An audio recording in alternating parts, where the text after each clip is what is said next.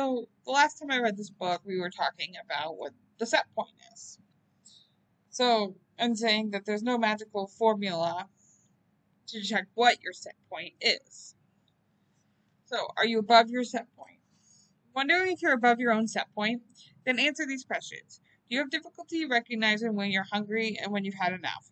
Do you routinely eat beyond a comfortable level of fullness and feel lethargic, stuffed, and uncomfortable after meals? Do you go through periods where you eat out of control, anticipating that you will soon start to diet? Do you skip meals in an effort to lose weight, then overeat because you are hungry? Do you skip meals to save up for a big feast? Do you often eat as a coping mechanism? Do you often feel guilty about some of the foods or the amount of food you've eaten? If you overeat, do you figure you've blown your diet and end up eating even more? Do you often eat quickly without taking the time to focus on the taste of your food or to savor and enjoy it? If you answered yes to any of these questions, you are likely above your set point. Don't feel bad, most people aren't at their set point. This book will help you find it.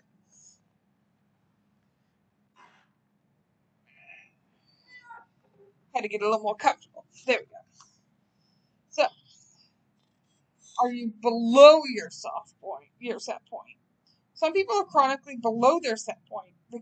You'll know this is if you are often cold, you feel like you're completely preoccupied with food, and often feel desperately hungry. You wake up with an overwhelming urge to eat. You have difficulty sleeping because of gnawing hunger. You have a very low sex drive. For females, if you have infrequent periods or skip them entirely, you suffer from any of the following apathy, fatigue, irritability, and or depression. If you are below your set point, learning how to respond to your body's signals will help you to normalize your eating habits and feel better. It may result in a slight weight gain, but this is a good thing, I assure you. Warning many of these conditions may also be symptomatic of an eating disorder, a thyroid dysfunction, or other concerns. Be sure to discuss these symptoms with a trusted health professional. Achieve your set point. This book is going to help you get to your natural set point, the weight that is healthiest for you. By the end of the book, you'll be answering yes to these questions. Do you eat naturally in response to signals of hunger, fullness, and appetite without fixating on your weight or food habits? Is eating effortless and enjoyable? Soon your body will be guiding you in making nutritious, pleasurable choices. No more counting calories, totaling fat grams, or weighing broiled skinless chicken breast. So that was actually the end of chapter one.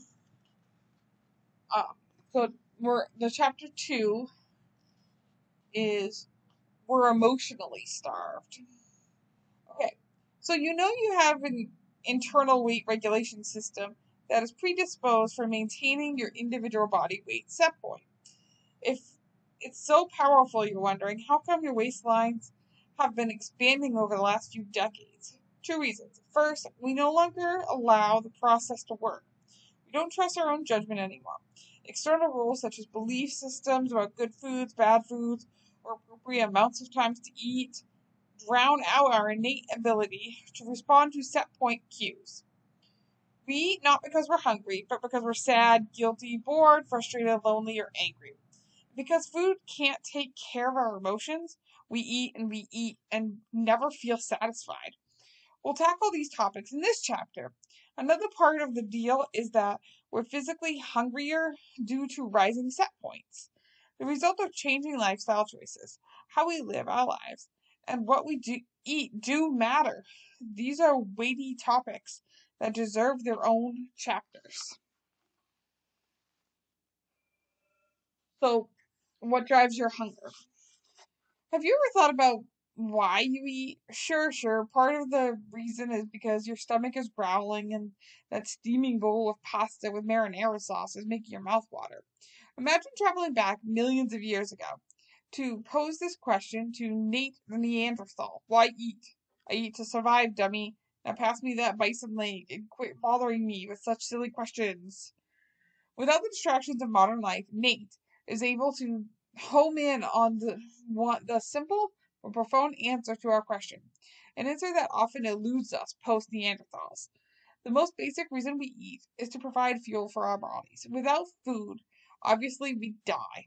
In fact, hunger is at the foundation of our biological programming that ensures our suffer- survival as a species. Every cell in our bodies is so invested in making sure we eat and provide fuel that not only are our bodies designed to make us feel miserable when we're hungry, but they also are designed to reward us when we do eat, triggering pleasure centers in our brains that make us act the act of eating so much more appealing than simply stuffing our mouths. This pleasure is our reward for listening to our body's signals, and it plays an important role in the set point mechanism.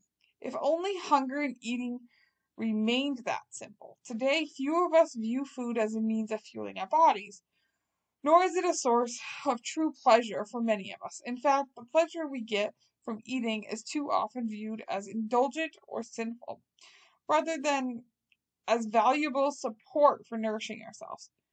We've learned to deny our or control our hunger rather than honor and celebrate it. As you already know from the first chapter, denying your hunger doesn't lead to the weight loss or better health. And eating when you're hungry won't make you fat. In fact, the opposite is true. Eating when you're hungry helps maintain your set point and keep you at the weight that's right for you. And denying your hunger leads to compensate, eh, compensatory mechanisms that trigger fat storage and weight gain. Yet today there's simply too much noise around the issue of food, hunger, and eating for us to listen to our own bodies.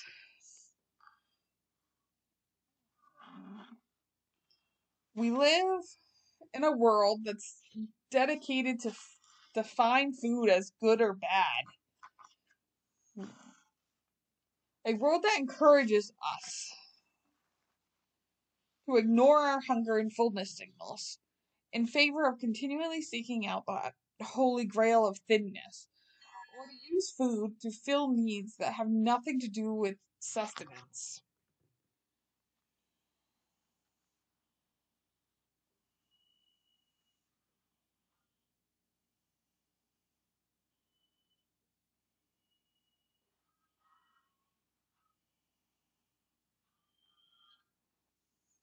Sorry.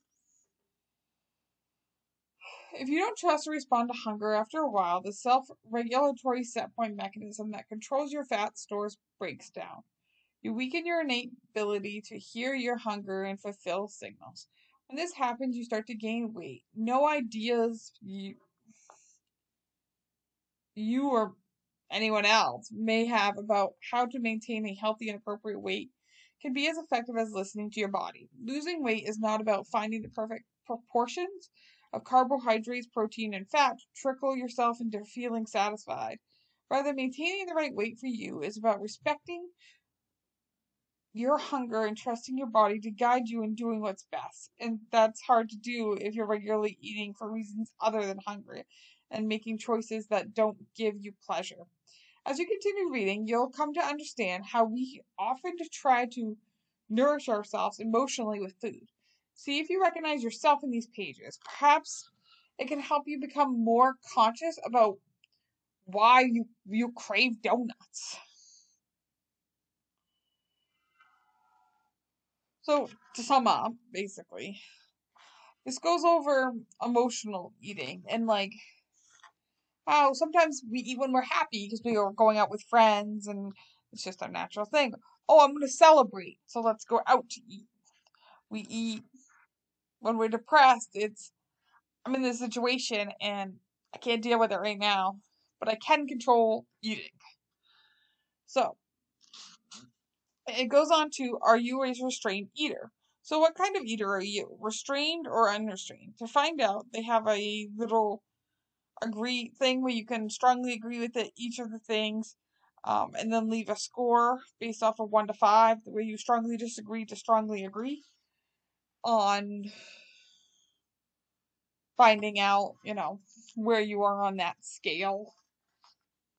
Um, I've been working on this for years, so it was interesting to see where I follow. so, the scale was actually developed by researchers and has been used in many studies that examine people's eating habits. To help make sure you didn't bias your results based off what you thought you should respond, the questions were set up So that agreeing with some indicate that you were a restrained eater and agreeing with others indicated the opposite. So low scores in some of the columns do that. So mine was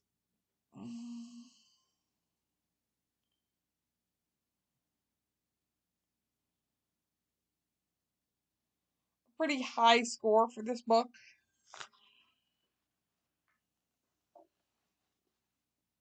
So then it goes on to the danger of restrained eating and then becoming an unrestrained eater. So I hear you, I hear you.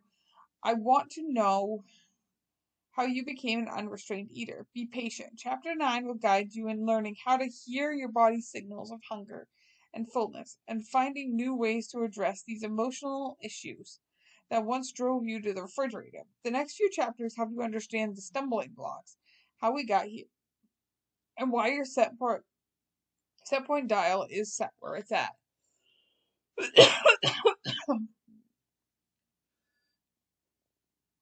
so three we get into chapter three we get into we resist weight loss.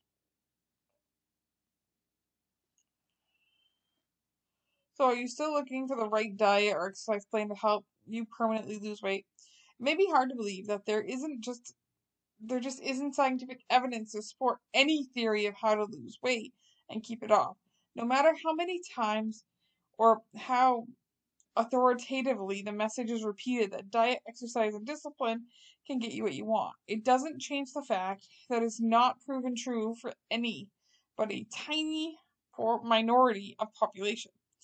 This chapter examines why dieting backfires, why exercise fails to deliver on its weight loss promises, and how sleep habits and how you can manage stress complicated weight regulations. So, as we've already heard, how your hormones can do with this, and why dieting backfires, exercise fails to deliver on its weight loss promises. So, as I said, I'm not gonna really get in into it, but it's nice to know like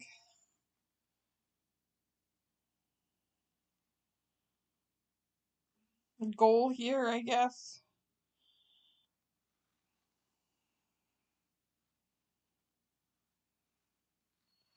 They also have things about selling about some of the weight loss treatments, um, and pills and stuff that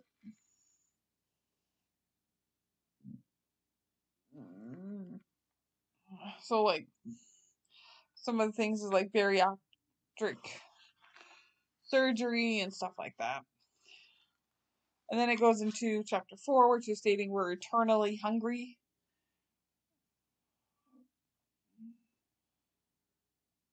And how, you know, a lot of health stuff I've gone over on this channel.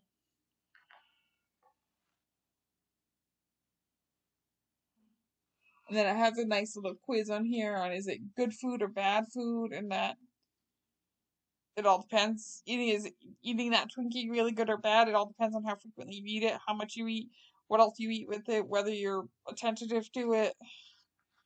So they came up with a healthy little thing. This is how your eating habits drive your set point. So they have a list of like how often do you drink sodas and fruit juices, how often do you eat snacks, how often do you have canned or frozen fruits, added sugar, candy, jelly, refined beans, bread, that kind of stuff. And then you can check for fiber and it shows you how you can check for fiber in different foods and figure out what the number means. It has the same thing for fat consumption. Have you help you figure out how much fat you're getting from different sources, eating and activity habits. So it's do you diet or watch your calories? Skip breakfast, accumulate aerobic exercise that travels more than 30 minutes a day. Mm-hmm.